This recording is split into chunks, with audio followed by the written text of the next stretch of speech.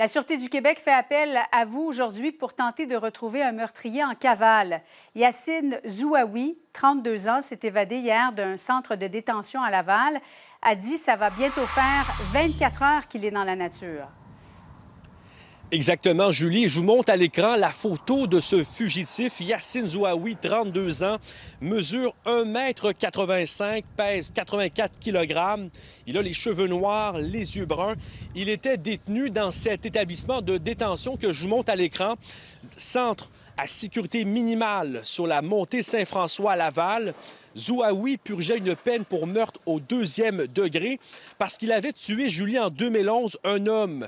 Des événements qui étaient survenus en Colombie-Britannique alors qu'il était âgé de 19 ans.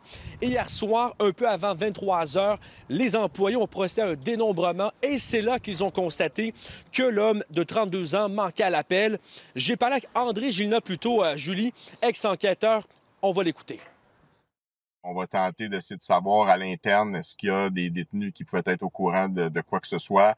On va aussi activer des informateurs à l'extérieur qui pourraient nous, nous permettre.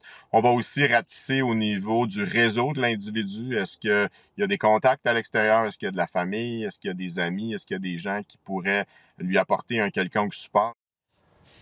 Et Julie, la grande question, c'est comment a-t-il fait pour s'évader pour l'instant? Service correctionnel du Canada n'a pas de réponse à cette question. Il y a bien sûr une enquête qui a été ouverte pour tenter de comprendre les circonstances de son hmm. évasion. Et je peux vous dire qu'ici, en secteur, secteur aussi résidentiel, ça crée une certaine crainte. Je fais entendre quelques réactions qu'on a recueillies un peu plus tôt, Julie.